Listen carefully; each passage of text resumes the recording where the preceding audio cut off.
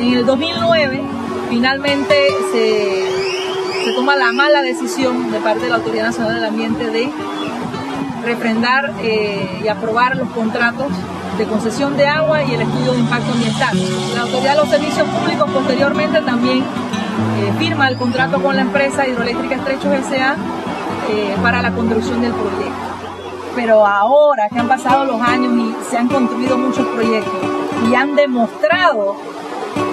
que no son buenos, no son positivos, que más son los daños que causan que los beneficios, entonces el tiempo nos ha dado la razón de lo que decíamos. Y mucha gente dice, oye, qué bueno que nosotros nos opusimos desde el principio porque ya hubiéramos tenido una represa aquí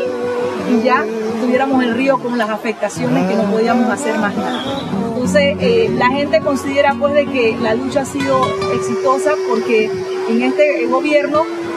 tuvimos que hacer un poco de presión también, no, no fue un regalo ni,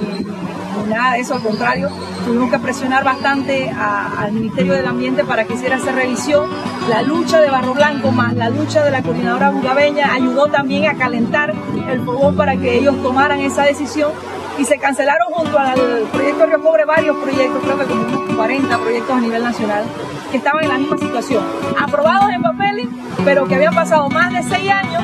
y no se habían construido. Entonces se prescribieron, y ese es el caso de Río Cobre. Se prescribió gracias a que la gente no vendió y, y, por eso es que entonces hoy en día la empresa ha remitido ¿verdad? contra el Ministerio del Ambiente y a nosotros entonces nos tiene una demanda eh, civil en un juzgado de Panamá acusándonos de que por actos terroristas ellos me hacen responsable a mí de que su proyecto fue cancelado. Entonces esa es la, creo que es una forma de, amenaza, pero también de venganza. Yo lo veo como una venganza. Es una venganza de él porque él sabe que yo no tengo 10 millones de dólares y si lo tuviera jamás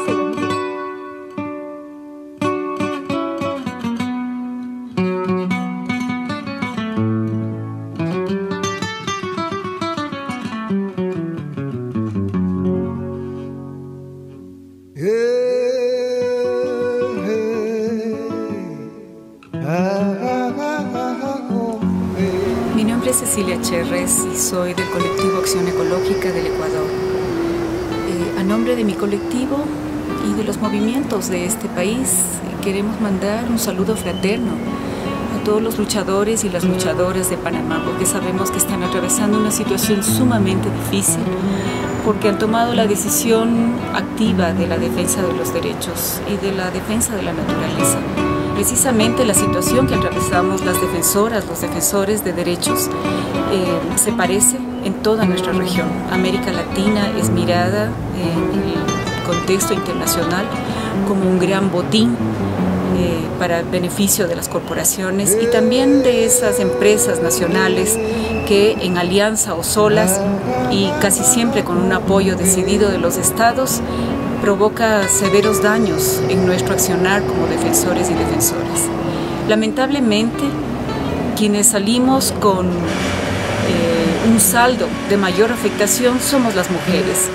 Entonces, eh, tanto en el Ecuador como entiendo en Panamá,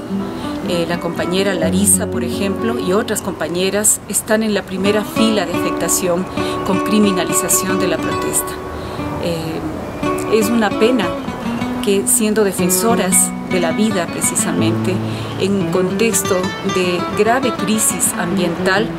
y de afectación a toda la humanidad por lo que ocurre con el agua, con la biodiversidad, con el clima finalmente, eh, somos nosotras las que estamos enfrentando esos procesos de criminalización, de hostigamiento, de represiones, incluso de encarcelamientos y hasta asesinatos.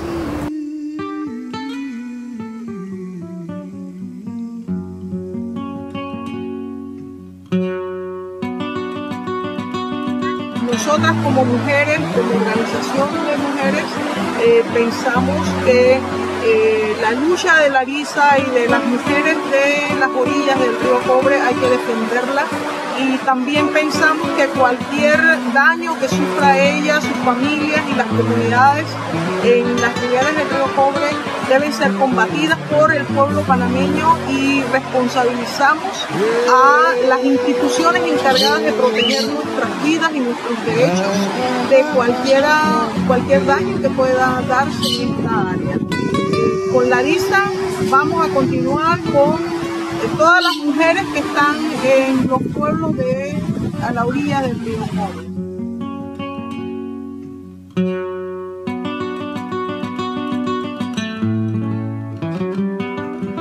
Nosotros como organización eh, que tenemos una bandera de ecología política, condenamos esta situación en un país donde el poder eh, asqueroso de instituciones que son avalados en mucha manera por el Estado, pues nos logra acallar nuestras causas, nuestras luchas. Y tenemos que tener claro algo, es una lucha eh, necesaria para todas nuestras comunidades y que muchas veces quiere ser silenciada. Entonces este es un llamado para las demás organizaciones también a nivel nacional que sepan que no están solas y que estas demandas que se ponen en contra de personas no es exclusivamente hacia una persona, sino hacia la colectividad.